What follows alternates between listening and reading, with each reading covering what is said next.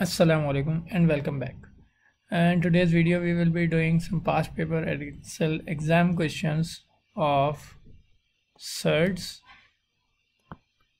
So uh, these are the questions that you were actually waiting for. In these questions uh, we will implement all the techniques that we have learned so far in the previous videos. So let's see how we do it. First of all you can see this question that in this question they are saying that we have to simplify कहीं नहीं कहा कि उन्होंने add करो subtract करो या multiply divide कुछ भी नहीं कहा। दे आर जस्ट सेइंग कि हमें यहाँ पे क्या करना है, इसको सिंप्लीफाई करना है। और सिंप्लीफाई करके हमारा जो फाइनल आंसर होना चाहिए, आगे लिखा हुआ है कि giving your answer in the form of a root three ये एक बहुत क्लियर हिंट होती है। अगर आप इसको समझे ना कि ये हमारे लिए, बहुत से बच्चे बोलते हैं कि यार ये जो है ना इंटीजर क्या आ गया, इतनी मुश्किल चीज़ बना दी हमारे लिए, हमें तो पता ही नहीं इंटीजर क्या होता है। तो भाई इंटीजर तो सिंपल नंबर्स होते हैं ना प्लस माइनस वाले। यहाँ पर इसमें कह रहे, ये जो हिंट है ना, ये इतनी ज़बरदस्त हिंट है कि आपका जो फाइनल आंसर आएगा, उसमें यहाँ पर कोई एक नंबर होगा और साथ में रूट थ्री लिखा होगा। अगर ऐसी फॉर्म हम ले आएँ सिंप्लीफाई करके, इसका मतलब हमने सॉल्व कर लिया। चलो आप देखें कैसे कर सकते हैं इसमें। अब सबसे पहले तो भाई यहाँ पे रूट फोर्टी एट लिखा हुआ है। रूट फोर्टी एट क्या सिंप्लीफाइड फॉर्म ऑफ़ सर्ड है? नहीं है। तो सबसे पहले हम एक, एक काम ये करेंगे कि हम पहले इसको सिंप्लीफाई करेंगे। तो forty eight root forty eight किसके बराबर होता है? रूट फोर्टी एट हमारे पास हम इसको फैक्टराइज करके भी कर सकते हैं ताकि हमसे जो है वो कोई मिस्टेक ना हो।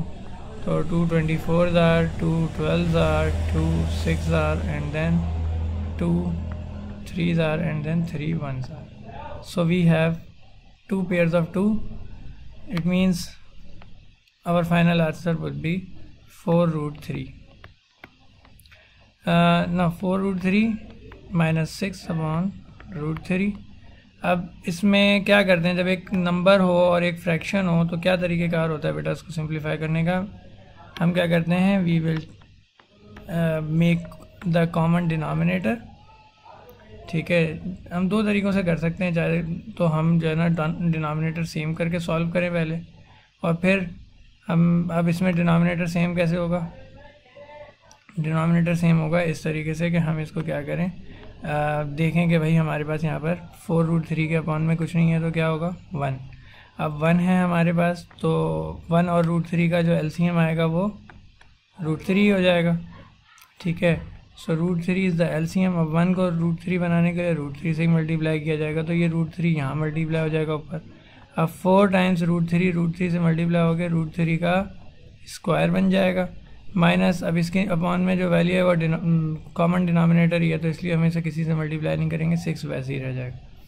ना वी हैव रूट थ्री का स्क्वायर हुआ तो हमारे पास थ्री आ गया। Four three are twelve minus six upon root three so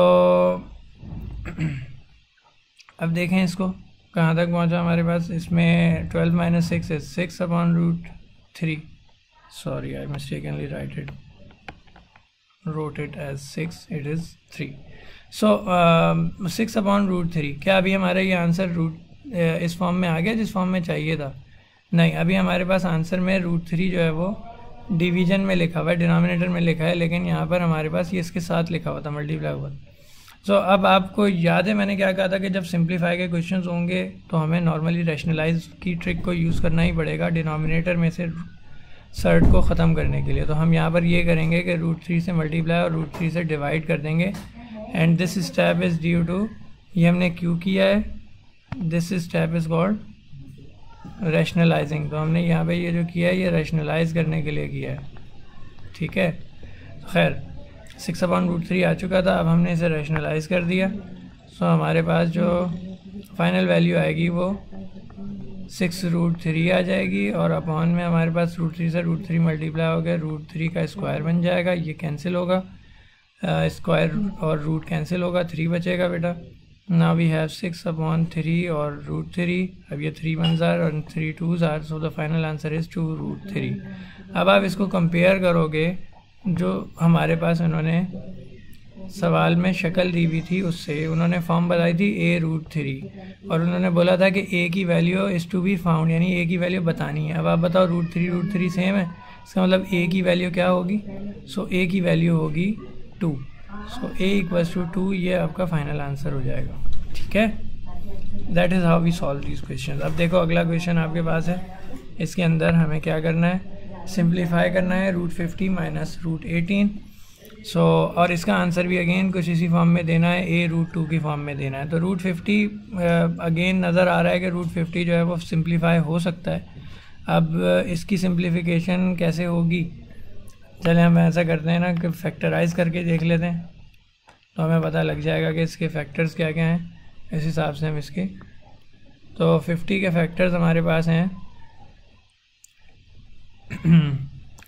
Two twenty five are and then five five ठीक है so we have two we have a pair of five and two तो जो pair है, वो बाहर आ जाएगा तो root fifty की जगह हमारे पास आ गया।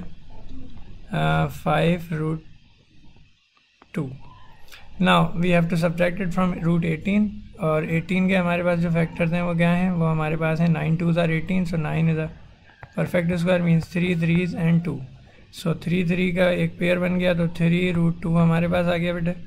अब दोनों रूट टू हैं five root two minus three root two final answer क्या आएगा? Yes two root two so अब हम इसको अगेन अगर हमें इसको मेंशन भी करना है कि भाई हमें ए की वैल्यू बतानी है तो ए की वैल्यू क्या होगी? कंपेयर करेंगे इसे किससे? ए रूट टू से। सो so, हमारे पास ए जो आ गया वो हमारे पास ये इंटीजर आ गया। So A equals to two in this part as well so ना moving on to the next question इसमें इन्होंने क्या कहा है? इसमें इन्होंने ये इसी क्वेश्चन का पार्ट है और बोल रहे हैं हैंस और अदरवाइज़ हमने पिछले पार्ट का आंसर टू रूट टू निकाला था। वो कह रहे हैं कि हैंस और अदरवाइज़ सिंप्लीफाई बोले पिछले वाले को यूज़ करके हमें इसे सिंप्लीफाई करना है।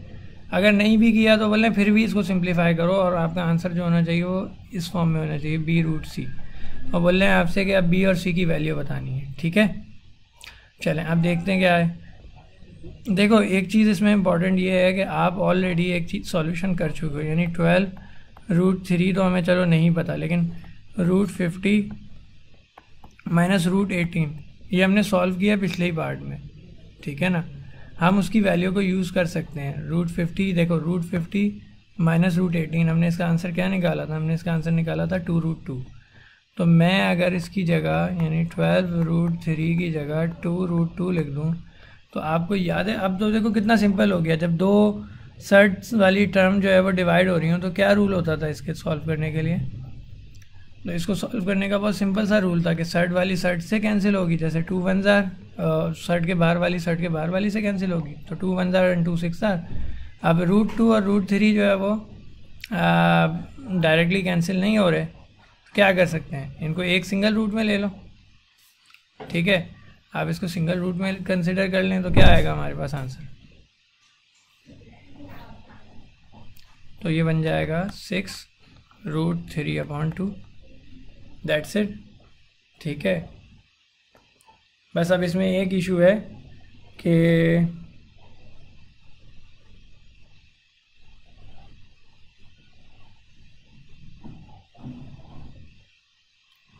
इधर क्वेश्चन में इन्होंने लिखा हुआ है कि B and C are integers जबकि यहाँ पे बी तो एज एन इंटीजर हमें नज़र आ रहा है, मगर सी एज एन इंटीजर नहीं आ रहा। है मोस्ट प्रॉबेबली मैंने जहाँ से ये एग्ज़ाम क्वेश्चन कॉपी किया, यहाँ पर अगर थ्री रखा, के बजाय टू होता तो ये हमारा आंसर हो जाता। ठीक है? लेकिन अगर ये हाँ सही है। थ्री के बजाय टू रख के सॉल्व कर लो इसे। क्योंकि ऐसे नॉर्मली क्वेश्चंस होते हैं जिसमें ये रूट टू से रूट टू डायरेक्टली कैंसिल हो जाता। तो लेकिन फिर ये हमारे पास बी रूट सी की फॉर्म में नहीं आता। अब यही इशू है कि इंटीजर्स तो नॉर्मली होल नंबर्स होते हैं ना। अब ये three upon two is not a whole number तो यहाँ तो इसे इसी तरह रहने दो एज अ फ्रैक्शन छोड़ दो। या फिर यहाँ पर अगर कोई ऐसी वैल्यू आ जाए, जैसे सिक्स होता। लेट सपोज़ ये ट्वेल्व रूट सिक्स होता। तो हमारे पास इसका आंसर जो है ना वो properly as a whole number हो जाता इंटीजर हो जाता, ठीक है?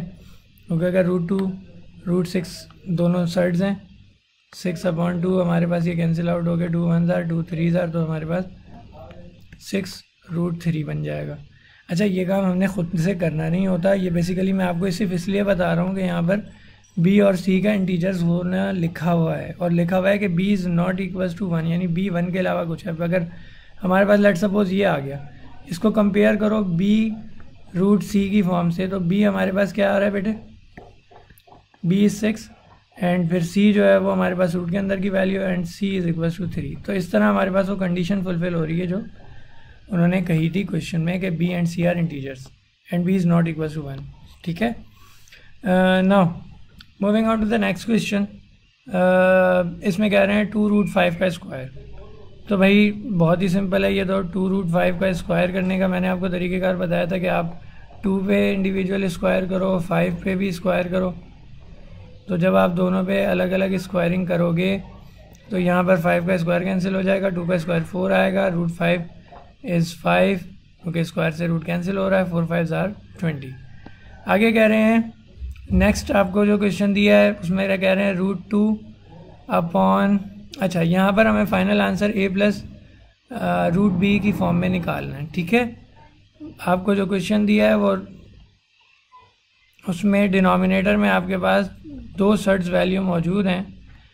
आपको बेसिकली इसको एक आ, अगर हम इसे सिंप्लीफाई करना भी चाहें तो सिवाय रैशनलाइजिंग के we have no any other method और उसमें क्या करते थे? याद है कि two root five minus three root two लिखा होता था तो हम इसे माइनस के बजाय प्लस से मल्टीप्लाई कर देते थे, यानी two root five minus three root two था, हम two root five plus three root two से मल्टीप्लाई भी करेंगे और डिवाइड भी करेंगे। ओके जब भी कभी डिवीज़न हो रहा होगा ना डायरेक्टली और दो टर्म्स हो तो हमें रैशनलाइज ही करना पड़ेगा उसको सिंप्लीफाई करने के लिए। तो बस अब रैशनलाइजिंग ज़रा जल्दी से देख लीजिए। इसमें क्या करना है? मैंने आपके सामने पहले टर्म जो नीचे डिनोमिनेटर की दो टर्म्स थी, उनमें अगर माइनस था तो मैंने प्लस प्लस से मल्टीप्लाई और डिवाइड करना है। और फिर मैंने उसमें ऊपर वाली टर्म्स को एक्सपेंशन के थ्रू सॉल्व करना है। और नीचे वाली टर्म्स में मैंने, यानी डिनोमिनेटर वाली टर्म्स में मैंने क्या करना है? फार्मूला यानी वो आइडेंटिटी इम्प्लीमेंट करनी है A plus B into A minus B जिसका आंसर होता है टू रूट, जो भी पहली टर्म है उसका स्क्वायर माइनस जो भी दूसरी टर्म है उसका स्क्वायर। सो अब बस हम इनको स्क्वायरिंग कर देंगे और मल्टीप्लिकेशन कर देंगे। ऊपर मल्टीप्लिकेशन करते हैं तो root two multiply with two root five तो ये बन जाएगा टू फाइव ज़ार टेन और इसी तरह, क्योंकि हम रूट वाली वैल्यू रूट के अंदर मल्टीप्लाई करते हैं ना तो फाइव और टू रूट वाले थे, इनको मल्टीप्लाई किया टेन आ गया। ना थ्री और रूट टू और रूट टू मल्टीप्लाई हो गया रूट टू का स्क्वायर हो जाएगा, यहाँ समझ लो फोर हो जाएगा। बहरहाल वो दोनों केसेस में रूट से बाहर आ जाएगा। अब नीचे वाली वैल्यूज़ क्या हो रही हैं? स्क्वायरिंग कर रहे हो टू रूट फाइव का स्क्वायर आप टू रूट फाइव का स्क्वायर पिछले पार्ट में भी निकाल चुके हो विच इज़ डायरेक्टली हम सॉल्व करते हैं तो ट्वेंटी आता है। ठीक है, यहाँ पे नोट करो, ये हमने यहाँ पे टू रूट फाइव का स्क्वायर निकाला था ना ट्वेंटी आया था तो बगैर ज़्यादा सोचे हम उसको यूज़ कर लेंगे। माइनस थ्री रूट टू का स्क्वायर क्या होगा? थ्री का स्क्वायर इज़ नाइन नाइन और टू रूट टू से बाहर आएगा तो nine two are eighteen so what we have left with is अब यहाँ पे सिंप्लीफाई कर रहा हूँ। टू रूट टेन ऊपर है बेटा हमारे पास और three root four divided by twenty minus eighteen as two अब इन्होंने चूँकि हमसे कहा है कि हमें जो फाइनल आंसर देना है वो किस फॉर्म में देना है? ए प्लस रूट बी की फॉर्म में देना है। तो अब ये जो टू है डिवीज़न में, इसको क्या करेंगे? दोनों के साथ डिवाइड कर देंगे और ये ये जो रूट फोर है रूट फोर हमारे पास, बल्कि सॉरी मैंने ये सिंप्लीफाई नहीं किया। ये रूट फोर ऑलरेडी किसमें चेंज हो चुका था? रूट फोर का आंसर टू आता है ना बेटे? तो ये टू बन जाएगा और ये थ्री टू ज़ार सिक्स हो जाएगा। अब ये टू दोनों से डिवाइड होगा। तो सिक्स पहले लिखते हैं सिक्स डिवाइड बाई टू कर देंगे और two root ten divide by two कर देंगे। टू से टू कैंसिल होगा, two one are, two three are. Final answer will be three plus root ten अब अगर इसको देखा जाए तो ये हमारे पास उसी फॉर्म में आंसर है, जिस फॉर्म में उन्होंने मांगा था कि A plus B A plus root B तो अब इसमें जो ए की वैल्यू आएगी बेटा वो होगी थ्री और बी की वैल्यू जो रूट के अंदर है विच इज़ टेन ठीक? ना लास्ट क्वेश्चन जो कि मैं इस वीडियो में आप लोगों से शेयर करूँगा. This is another past paper question so in this question they are saying के write root eighty in the form of C root five तो एटी को सी रूट फाइव की फॉर्म में लिखने का कह रहे हैं. अब सी रूट फाइव का मतलब क्या हुआ? कि पहले रूट एट्टी को सिंप्लीफाई करके देखें तो एट्टी हमारे पास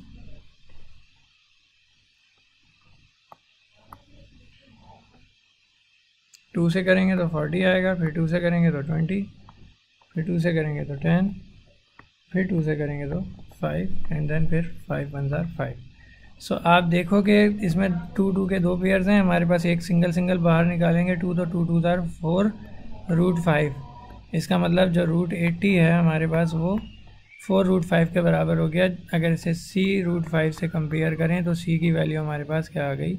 फोर तो फ़र्स्ट पार्ट का सॉल्यूशन हमने कर लिया सी इक्वल्स टू फोर ठीक है? इसके बाद कह रहे हैं R rectangle R has a length of एक रेक्टेंगल है। रेक्टेंगल के बारे में आपको इस चीज़ का इल्म होगा कि हमारे पास रेक्टेंगल किस तरीके का शेप होता है बेटे। ठीक है ऐसा शेप होता है जिसकी चारों साइडें नाइन्टी की होती हैं और लेंथ और ब्रेथ डिफरेंट होती हैं लेकिन आमने सामने वाली साइड्स सेम होती हैं। सो so, लेंथ उन्होंने बताई हुई है one plus root five length is the longer side इसलिए मैंने यहाँ पे बनाई। वो आपसे कह रहे हैं कि इसका area eighty centimetre root eighty है। ठीक है इसका एरिया इस ट्राइंगल का रूट एट्टी सेंटीमीटर स्क्वायर है। ये वाली वैल्यू है सेंटीमीटर में आपसे कह रहे हैं। विथ निकालो इसकी। ठीक है विथ निकालनी। सो so, अब हमारे पास हमें ये पता होना चाहिए कि एरिया का formula of rectangle specifically area of rectangle बराबर होता है लेंथ मल्टीप्लाई विद वेट या ब्रेथ अब बेटा आपको वेट निकालना है तो लेंथ दूसरी तरफ़ भेजोगे तो जाके क्या हो जाएगी? डिवाइड हो जाएगी। ठीक है? तो एरिया हमारे पास इसमें था रूट एटी वेट हमारे पास है वन प्लस लेंथ हमारे पास है वन प्लस रूट फाइव। तो ये दोनों डिवाइड हो गए तो किसके बराबर आएँगे? वेट के बराबर आएँगे। हमें विट निकालनी है, लेकिन हमारे पास विट का आंसर जो है वो P plus Q root five की फॉर्म में होना चाहिए। अभी ये इस फॉर्म में नहीं है। तो ये कैसे आएगा इस फॉर्म में? भाई, हम इसको फर्दर सिंप्लीफाई कर लेंगे तो हमारे पास वेट की वैल्यू आ जाएगी इस फॉर्म में। कैसे? हम देख लेते हैं। रूट एट्टी तो वैसे ही हम ऑलरेडी निकाल चुके हैं। किसके बराबर है भाई रूट एट्टी? पिछले पार्ट में किया था रूट एट्टी बराबर है फोर रूट फाइव के। अब ये है वन प्लस रूट फाइव आपको इसको सिंप्लीफाई करना है तो रेशनलाइज कर देंगे। One minus root five upon one minus root five ठीक है? तो अब रैशनलाइज करेंगे तो हमारे पास क्या आंसर आएगा बेटा? ऊपर वाली वैल्यूज़ में फोर रूट फाइव दोनों से मल्टीप्लाई हो जाएगा एक एक करके। और नीचे वाली वैल्यू हमारे पास आपको पता है कि मैं क्यों, अगर ये प्लस का हो तो माइनस से क्यों मल्टीप्लाई कराते हैं? So that it becomes the formula of A square minus B square तो अभी पहली टर्म का स्क्वायर कर रहे हैं, फिर दूसरी टर्म का स्क्वायर कर रहे हैं। ना वी हैव ऊपर मल्टीप्लिकेशन करेंगे बारी बारी बेटा। तो हमारे पास आएगा four root five now four root five multiplied with root five is four and root five का square upon one minus root से ये कैंसिल फाइव आ गया बेटे।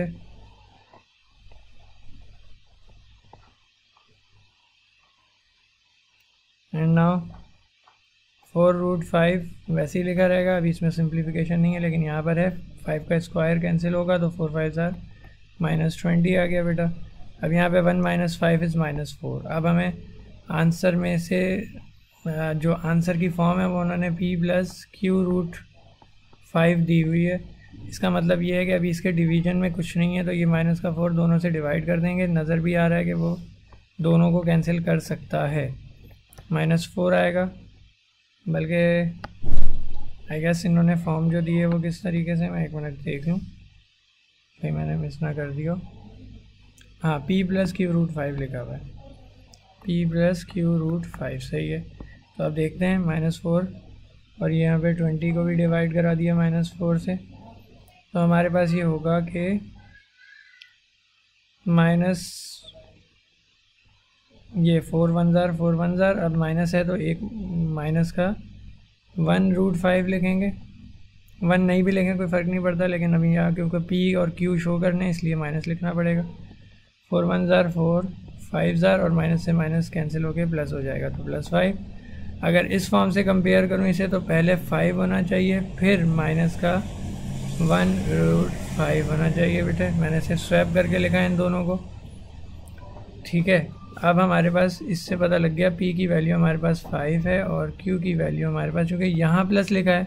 तो बेटा ये माइनस है तो इसका मतलब क्यू की वैल्यू हमें माइनस वन लेनी पड़ेगी। ठीक है? अगर यहाँ पर इन्होंने माइनस लिखा होता तो फिर मैं इसको माइनस को माइनस से कंपेयर करके सिर्फ़ क्यू को डायरेक्टली वन ले लेता। ठीक है?